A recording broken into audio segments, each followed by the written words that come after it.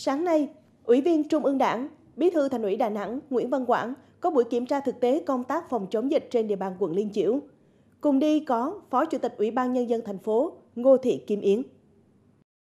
Đến kiểm tra tại chợ Hòa Khánh, phường Hòa Khánh Bắc và các điểm phong tỏa xung quanh khu vực này, Bí thư Thành ủy Nguyễn Văn Quảng đề nghị quận Liên Chiểu tiếp tục có đánh giá kịp thời, nhanh chóng khoanh vùng, truy vết các khu vực nguy cơ, đảm bảo an sinh trong các khu phong tỏa, yêu cầu các phường thực hiện nghiêm các quy định, biện pháp theo các cấp độ dịch, đồng thời thăm hỏi động viên lực lượng y tế, các tổ Covid cộng đồng tại đây tiếp tục nỗ lực phát huy tối đa vai trò trách nhiệm để góp phần kiểm soát tốt dịch bệnh trên địa bàn. Ngay sau khi kiểm tra thực tế tại phường Hòa Khánh Bắc, Bí thư Thành ủy Nguyễn Văn Quảng đã có buổi làm việc với quận Liên Chiểu về tình hình triển khai các công tác phòng chống dịch trên địa bàn. Theo đánh giá, hiện nay mức độ lây lan dịch bệnh tại đây đang có nguy cơ rất cao, dịch đã nhiễm sâu và rộng vào trong cộng đồng. Đáng chú ý, tốc độ gia tăng F0 còn cao hơn so với các đợt dịch trước đây. Trước tình hình này, bên cạnh việc chia sẻ những khó khăn, ghi nhận những nỗ lực, cố gắng của lực lượng phòng chống dịch, Bí thư Thành ủy Nguyễn Văn Quảng đã phê bình nghiêm khắc địa phương không quản lý tốt việc thực hiện nghiêm 5K để xảy ra các ổ dịch tại khu vực chợ, khu dân cư. Đồng thời đề nghị Ban chỉ đạo phòng chống dịch thành phố xử phạt nghiêm khắc công ty Matrix Việt Nam đặt trụ sở tại khu công nghiệp Hòa Khánh vì thiếu trách nhiệm nhiều lần để xảy ra bùng phát dịch.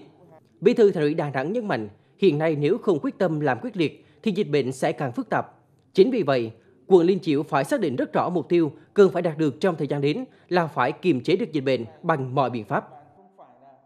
Nếu chúng ta để nó vượt quá cái tầm kiểm soát của chúng ta, là xin thưa các đồng chí là đã mất kiểm soát thì chúng ta không còn gì để nói nữa. Lúc đấy tôi nói luôn là mất luôn cả hiệu lực về công tác lãnh đạo chỉ đạo và công tác quản lý. Tôi muốn nhấn mạnh cái ý này để các đồng chí phải đặt ra cái mục tiêu để chúng ta phải kiểm soát được trong phạm vi năng lực của chúng ta.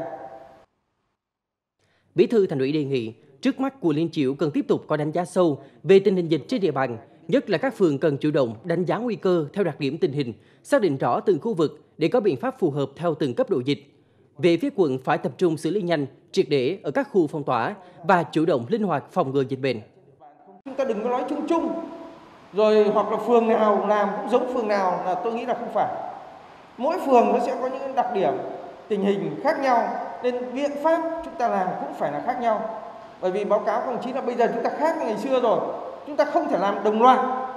là cấm là cấm hết tất cả các phường áp dụng các biện pháp hành chính mạnh để đồng loạt để chúng ta làm giống nhau được bây giờ nó không không còn cái điều kiện đấy để cho chúng ta làm nữa và tôi nhắc lại là chúng ta phải vận dụng rất tốt linh hoạt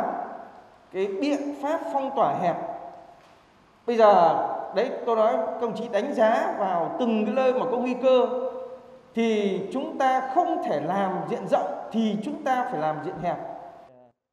vì công tác phối hợp giữa các lực lượng đơn vị, Bí thư Thành ủy đánh giá đây vẫn là khâu yếu từ trước đến nay. Đề nghị Ban chỉ đạo phòng chống dịch thành phố tăng cường hỗ trợ cho quận Liên Chiểu về nhân lực, vật lực. Về phía quận Liên Chiểu phải xác định rõ vai trò chủ chốt của mình trong việc phòng chống dịch trên địa bàn. Các ông chí phải thấy được cái trách nhiệm của mình để chủ động trong công tác phối kết hợp.